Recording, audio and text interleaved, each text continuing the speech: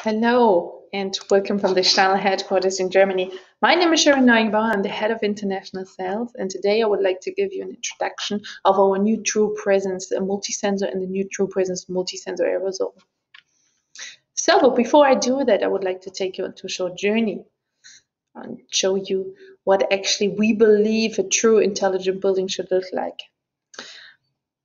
In our vision, a building should be similar like a human being. What does that mean? It means a building should sense, think, act, and learn according to that. Similar like us. And what is important? Important are the sensors, the eyes, the ears, and the nose in that building.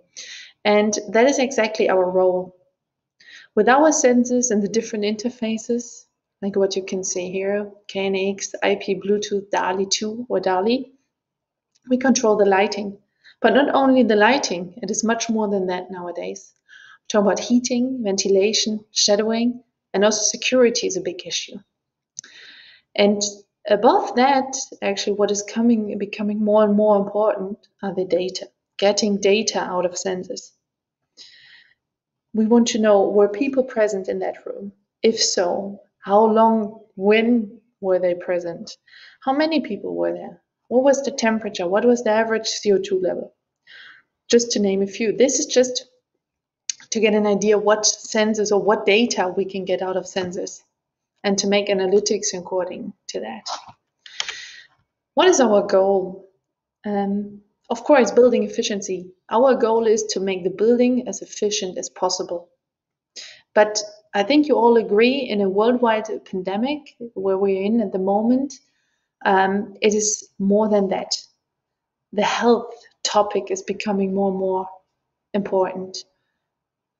Comfort and well-being. So we need to ensure that people working in offices feel comfortable, feel safe being there, as well as at home. Health is the most important um, topic nowadays. And talking about health and comfort, um, focusing a little bit more on, on the air quality, we all know, I think we all know the situation still back from the old school days that in uh, typically uh, classrooms, that when the air is getting poor, that you feel headache, you feel tired, and you feel that you cannot concentrate anymore. And all these are results, all these points that you can see here, um, are results from a bad air and the impact that it has on your health and our conditions. And um, what we have done is a small case study here, basically. Uh, as you can see here on the right side, um, that's a typical school day. So we have um, we have evaluated the, the um, CO2 level in the school class, and school starts normally at 8 o'clock. And we see that within 30 minutes or after 30 minutes, after 20 minutes even, um, the CO2 level in that room is so high that it has a bad impact on our comfortable feeling, on our, yeah, what we said earlier, on consciousness, on concentration, on, on our just personal feeling. And um, this is a big topic. And, and considering COVID 19, um, this topic is becoming more and more an issue. Why is that? This is something I want to come back to later on. So, our mission is creating healthy indoor air. And how have we done that? We have launched the True Presence Multi Sensor. That is a beautiful sensor. You can see here in the middle. um, and not only beautiful, but it's also functional. So um, we have the true presence. So it's a normal presence detector, and of course measuring brightness as a normal presence uh, detector. But on top of that, we can measure the temperature, we can measure humidity, CO2, VOC, and air pressure. So all these seven values in one sensor. Based on, on the cases um, of offices and classrooms, you can see here the ideal values, basically, what we're talking about. Temperature, 21, 22 degrees. Humidity should be between 40 and 65%. The maximum load of CO2 level should be um, maximum 1000 ppm, brightness 3 to 500 lux. And the VOC should be lower, as low as possible, but should definitely be, be uh, below 100 ppb. So these are all factors for creating the perfect um, indoor air climate, I would say. So talking about um, the infection risk, basically, we're talking about the true presence uh, multi-sensor aerosol. That is a new KNX communication uh, object. And um, this is based on a calculation of three different levels. As you can see here on this tablet or on the screen, it's, it's just a presentation, it's just an example of what it could look like. We can tell the infection risk in that room. How have we done this? This is a calculation based on the latest studies and with the three most important values.